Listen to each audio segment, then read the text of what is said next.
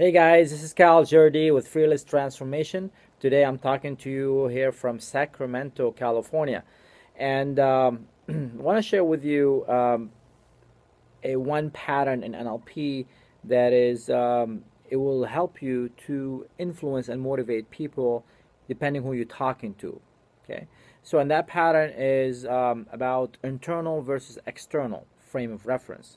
See, some people are motivated or they make decision internally because there's something that they believe in inside, because there's something they have this um, feeling or this um, um, place where they know that they have done a good job, or they know just because they know, or some people they need evidence from outside. Someone will tell them they've done a good job or maybe um, they need to see results. Maybe they need to look at a paycheck. That's how would they know that they've done a good job. So, um, how would you know if someone is internal versus external?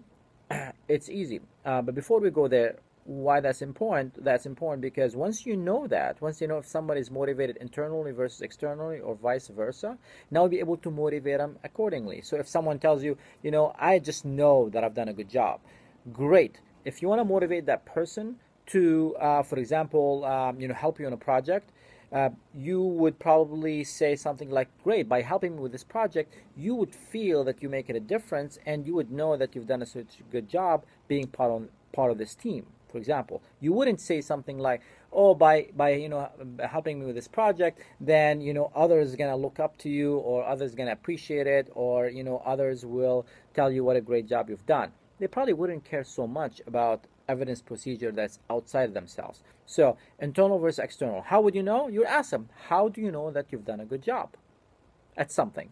Fill in the blanks, whatever that is. So, if they tell you, I'll just know, then you know that they're internally motivated. If they said, oh, oh, when people tell me, or when my boss tells me, or you know, family tell me, or when when I see results, when I see a look at paycheck, then you know they're external. Okay, so practice that. Ask the next person you meet, somebody you want to influence. How would you know that you've done a good job at you fill in the blank, whatever that is, and listen to the response. Are they internal or are they external? And based on that, now you know how to influence them. Hope that makes a difference to you. I'll speak to you tomorrow from um, somewhere, Oakland, maybe. I'll talk to you later. Cheers.